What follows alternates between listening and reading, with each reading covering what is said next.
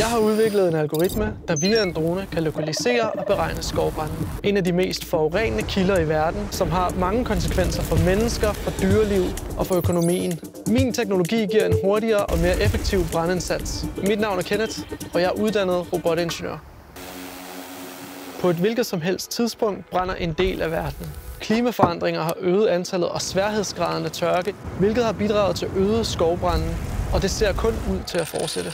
I 2050 forventes en stigning på 35 procent af dage med høj risiko for skovbrand. Skovbranden er en vigtig drivkraft for drivhusgasemissioner og også ansvarlig for omkring en kvart million årlige dødsfald som følge af dårlig luftkvalitet, og flere milliarder dyr bliver hvert år dræbt eller fordrevet af skovbranden.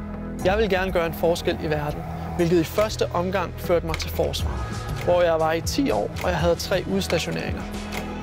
Efter min tredje udstationering havde jeg brug for en forandring, og jeg ledte efter en måde, hvor jeg igen kunne gøre en forskel. Jeg har altid været fascineret af de ting, man kan med naturvidenskab, og specielt inden for robotteknologi. På studiet kom jeg i en studiegruppe, der alle havde en interesse i droneteknologi. Vi kom sammen fra mange forskellige lande, og vi havde derfor mange forskellige måder at tænke på, og det gav en god synergi imellem os.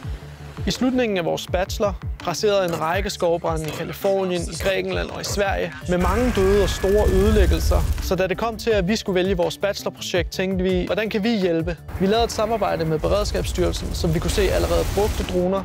De brugte dem kun som et kamera, og de havde en række problemer med at så korrelere, hvad det var, de så fra dronen eller fra helikopter, til noget, de kunne handle ud efter på et kort. Derudover tog dronen også en del ressourcer, da det kræver tid at oplære og udføre arbejdet. Den viden tog vi med os, og vi gik i gang med at udvikle Aura, en algoritme, som med en kunstig intelligens kan genkende flammer, røg eller høje temperaturer. Når ilden er genkendt, udregner vores algoritme den præcise lokation, størrelsen og retningen. Herefter sender den navigationsruter tilbage til dronen og koordinater tilbage til en app. Vi har oprettet et samarbejde med en eliteenhed, som hedder Graf, som er specialiseret i skovbranden i Katalonien. Der har vi været nede og teste dronen i en række operationer.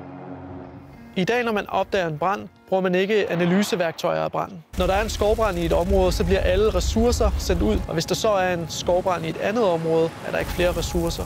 Med Aura vil man kunne indsætte den rette mængde ressourcer til hver brand, og baseret på vores test har vi udregnet, at man vil kunne spare op til 70% af de mandetimer, der bliver brugt i operationer. Derudover vil de også langt mere præcist kunne kaste vand fra helikopter og fra flyvere Droner koster også langt mindre end for eksempel helikopter, der kan koste op til 4 millioner kroner om dagen. Vores algoritme fyldte meget i starten, så siden den første prototype har vi gjort den langt mere effektiv. Vi fandt også ud af, at brandvæsenet gerne ville have det så simpelt som muligt, så de kunne aflæse det og reagere så hurtigt som muligt.